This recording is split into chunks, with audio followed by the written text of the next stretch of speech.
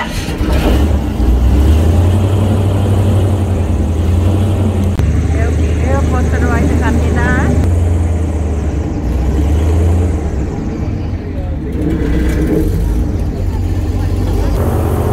guys. Don't forget about those guys.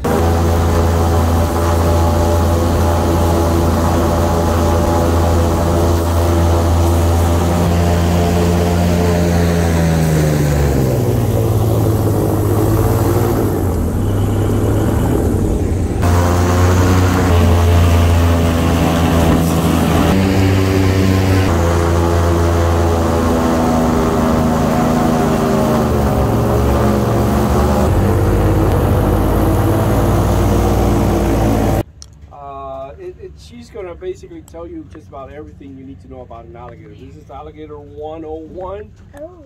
Just full of facts. Okay, there she is. Okay, so here we go, guys.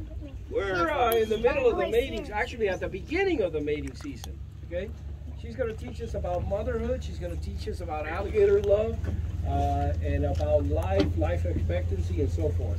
Let's start with the fact that alligators in the Everglades. Well, this is about six, six and a half feet. Okay, she is a mom. Okay, and that's how I know she's a female. Uh, whenever you see baby alligators around an alligator, you got a mom. Uh, you'll never see baby alligators around them. About two weeks right now, she's been in that spot. Not exactly there completely, okay? Which tells me she's given up on motherhood. Uh, not being a mom because she's not moving. She has been.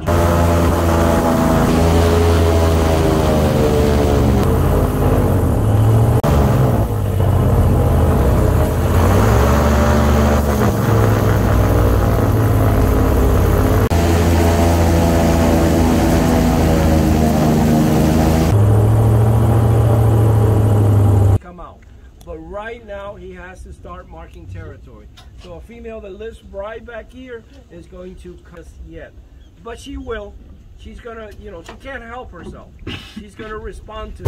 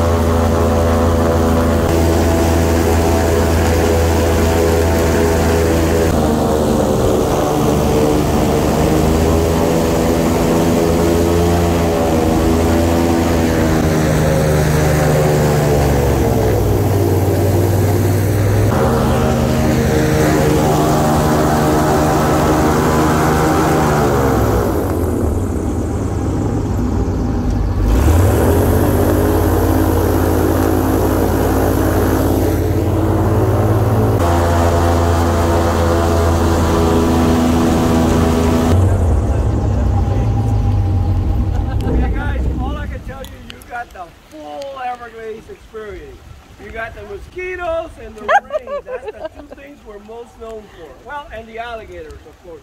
Guys, I do want to point out over here on the left, there's a small alligator right there, okay? She's hard to spot because she's camouflaging herself perfect. She's one of three.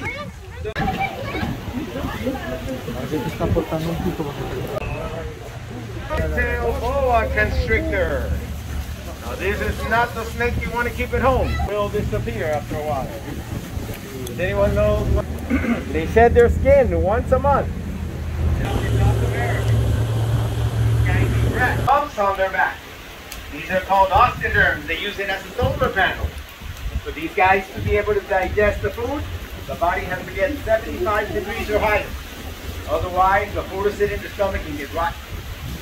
That tail, all muscle. They use it for swimming and also for fighting. They can swim in the water at 15 miles an hour. Uh, if they lose the tip of the tail or a leg in a fight, the arteries shut down so they don't bleed to death. They can touch the back. Called the nictitating membrane. They use it as a mask. So when they go into the water, they don't get any bacteria in your eyes. And they can hide your eyes 3,000 feet in their lifetime. Now that mouth works like a immediately under the water. As soon as something touches, like a fish or a snake, it automatically closes. They can wake up, swallow it, and go back to sleep. That's what I call breakfast. As they get older, they start losing the sight, they become completely black. Then they start to eat all the